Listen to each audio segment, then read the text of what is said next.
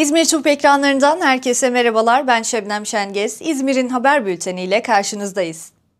İzmir Büyükşehir Belediyesi artık WhatsApp'ta. Kentte yaşayanların hizmetlere kolay erişimini sağlamak için çalışmalarını sürdüren İzmir Büyükşehir Belediyesi 0530 919 4035 numaralı kurumsal WhatsApp danışma hattını hizmete aldı.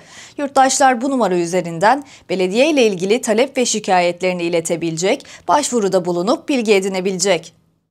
İzdenize bağlı gemi ve araba vapuru seferlerinde kış tarifesi uygulanmaya başlandı. Kış tarifesine göre yaz dönemi boyunca hafta sonu her 15 dakikada bir sefer yapan Bostanlı Üçkuyular araba vapurları hafta sonu 19.30'dan itibaren 23'e kadar yarım saatte bir karşılıklı sefer yapacak. İskelelerde yaşanan yoğunluğa bağlı olarak ek seferde konulacak.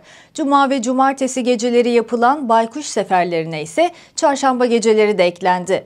Ayrıca Alsancak'tan Karşıyaka'ya yapılacak gemi seferleriyle bağlantılı tramvay seferleri de olacak. Giderek ağırlaşan ekonomik krizin etkilediği ihtiyaç sahibi aileler ve öğrenciler için Bereket Hareketi kampanyası başladı.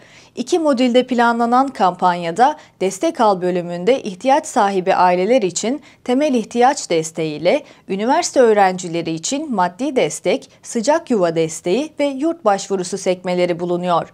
Destek ver sekmesinde ise yiyecekten içeceğe birçok destek seçenekleri yer alıyor. Kampanyaya bizizmir.com ve berekethareketi.izmir.bel.tr üzerinden katılabilirsiniz. 11-29 Aralık tarihleri arasında 9 kentin şehir tiyatrolarının katılacağı Büyükşehir Belediyeleri Şehir Tiyatroları buluşması düzenlenecek. İzmir Büyükşehir Belediyesi'nin ev sahipliği yapacağı etkinlikte 12 oyun sahnelenecek. Oyun biletleri gişeler ve kültürsanat.izmir.bel.tr sitesinden satışa sunuluyor. İzmir'in haberlerini şimdilik noktaladık. Haftaya tekrar İzmir Çubuğu ekranlarında olacağız. Hoşçakalın.